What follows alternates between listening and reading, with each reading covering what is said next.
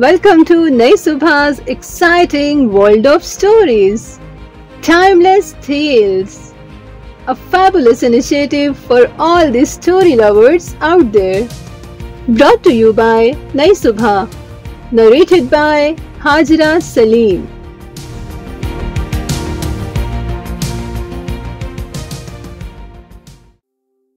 मेरा ख्वाब एक छोटे से शहर के बड़े से स्कूल में शुरू हुआ। जैसे जैसे शहर बड़े होते जाते हैं वैसे वैसे स्कूल के ग्राउंड छोटे होते जाते हैं। पर मेरे स्कूल में जगह की कोई कमी नहीं थी। वहाँ हर खेल के लिए एक अलग मैदान मौजूद था। फुटबॉल, बास्केटबॉल, टेनिस और मेरा फेवरेट क्रिकेट आज भी जब मैं अपने स्कूल के दिन याद करती हूँ तो मुझे क्लासरूम से ज़्यादा क्रिकेट का वो ग्राउंड याद आता है। पर हमारे स्कूल में क्लास फाइव के बाद क्रिकेट खेलने की इजाज़त दी जाती थी। छोटी क्लासेस में तो हम बस ऐसे ही इधर उधर भागते रहते थे। कभी छुपन छुपाई, बर्फ़ पानी पेल दूज तो कभी छिप्पी। मेरी दिलचस्पी हमेशा पढ़ाई से ज़्यादा गेम्स और स्पोर्ट्स में थी। मुझे याद है, एक दिन क्लास थ्री में हम खो खो खेल रहे थे।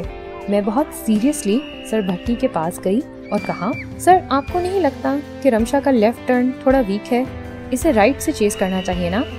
मुझे लगता है हमें स्पाइक्स वाले जॉगर्स पहनने चाहिए। इससे स्पीड इम्प्रूव होगी। है ना सर ये मासूमाना सवाल सुनकर उनके माथे पर पड़ने वाले बल मुझे आज भी नज़र आते हैं। सर ने मुझे गौर से देखा और कहा, बेटा, ये खो खो है, इसमें कोई स्ट्रैटेजी नहीं होती।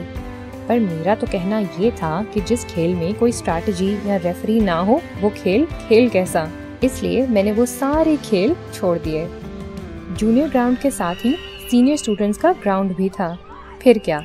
मैंने हर स्पोर्ट्स पीरियड में वहाँ बैठकर बड़े बच्चों को क्रिकेट खेलते हुए देखना शुरू कर दिया। उन्हें देखते देखते मैंने इस खेल को समझना शुरू किया। ये बॉलर हर ओवर से पहले फील्डर से क्या बात करता है? कुछ बॉलर्स तो दूर से भागते हुए आते हैं और कुछ बॉलर्स एक ही जगह खड़े होकर बॉल करवा देते हैं। ऐसा क्यों? वो आलसी हैं क्या? और ये हर बॉल पर छक्का क्यों नहीं लगता? क्रिकेट मेरे लिए एक नई दुनिया थी। जैसे जैसे मैं इस खेल के उसूल, पहलू और पेचीदगियों को समझने लगी वैसे वैसे मेरा जुनून और गहरा होता गया। यू सीनियर्स को हसरत से देखते हुए मैंने दो साल निकाल दिए और फिर आया क्लास फाइव का पहला स्पोर्ट्स पीरियड। यानी मेरे सब्र का मीठा फल। उस दिन तो मेरी खुशी का कोई ठिकाना ही नहीं था। जैसे ही बेल बजी मैं दौड़कर सबसे पहले स्पोर्ट्स रूम पहुँच गई। बास्केट में से मैंने चमकती हुई एक लाल बॉल निकाली। शेल्फ पर रखे पाँच छह बैट्स में से एक बैट उठाने ही वाली थी कि अचानक सर भट्टी वहाँ आ गए।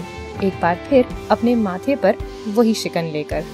उन्होंने मुझे देखकर जरा सख्ती से पूछा, यहाँ क्या कर रही हो? मैंने कहा, सर, मैं बैट देख रही हूँ। कौन सा लेना चाहिए? सर ने मुझे गुस्से से देखा और कहा, वहाँ बास्केटबॉल रखी है। वो उठाओ और बाहर जाओ। लड़कियाँ क्रिकेट नहीं खेलती। कहानी ने आगे क्या मोड़ लिया? ये जानने के लिए इंतज़ार कीजिए अगले हिस्से का।